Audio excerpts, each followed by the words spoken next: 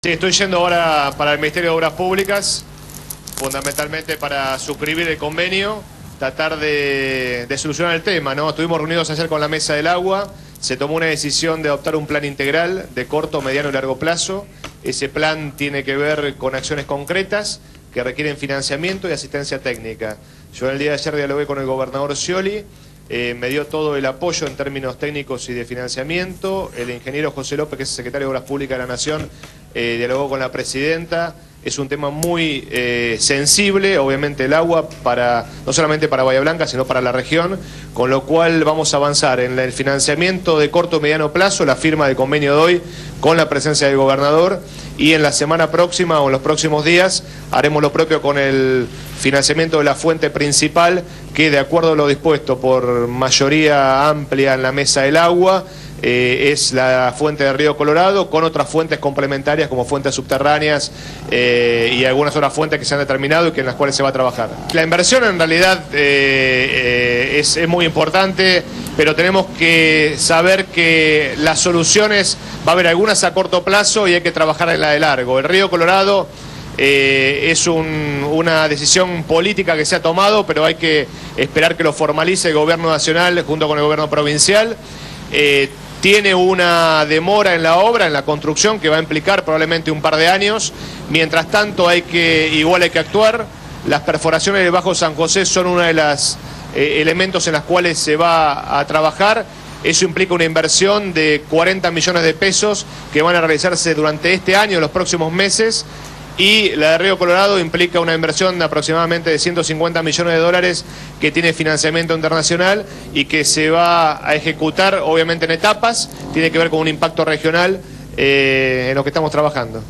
Eh, con la posibilidad de llevar adelante estas perforaciones, obviamente estamos previendo una incorporación entre un 20 y un 30% más de caudal de agua.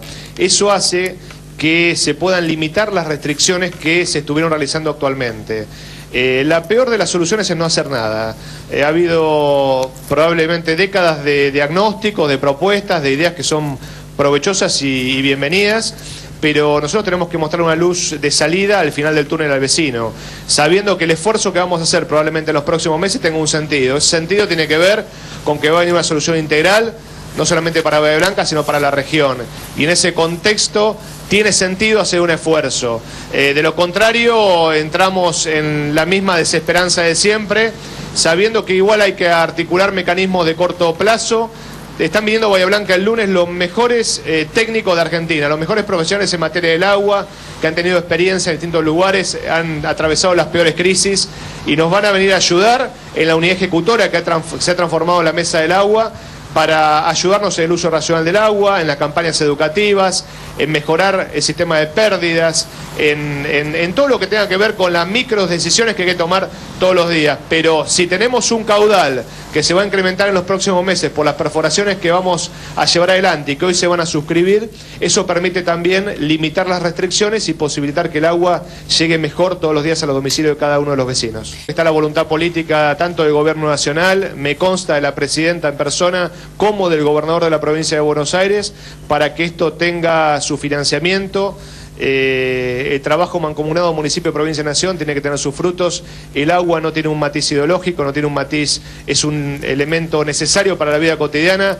Yo en ese sentido, en las cuestiones técnicas, preferiría esperar la semana próxima. Hoy avanzamos en las medidas de financiamiento, en las medidas de corto y mediano plazo. 40 millones de pesos en perforaciones, eh, más eh, aproximadamente 15 pozos, más otros 20 que se están llevando adelante, más las acciones con un equipo técnico de primera que está viendo Bahía Blanca a intervenir concretamente en la junto con el, secretario de Obras Públicas, Rubén Valerio, en acciones concretas para llevar adelante los próximos días. Nosotros firmamos un convenio hace unos 10 días donde dijimos que había que en esta contingencia, en esta sequía que ha llevado ya largos años y que hace que el dique obviamente no tenga la posibilidad de abastecer la ciudad, tenemos que mancomunar esfuerzos, tenemos que juntarnos. Eh, sin perjuicio de las jurisdicciones, somos todos responsables. Eh, asumimos, APSA asumió su parte de responsabilidad, el municipio y la nación lo mismo. Ahí hay propuestas que vienen de distintos lugares y financiamiento que vienen de distintos ámbitos. Alguna parte de APSA, otra parte de Nación.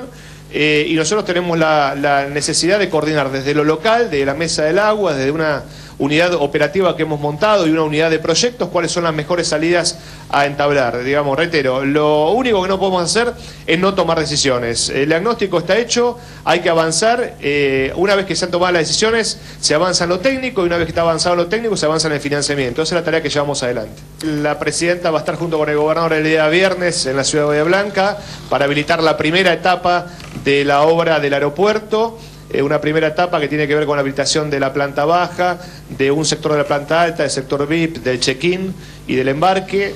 Eh, y además eh, haremos una visita seguramente a la planta de TGS para habilitar una conexión que, en la cual se está trabajando, que tiene mucha importancia para la distribución del gas en Argentina.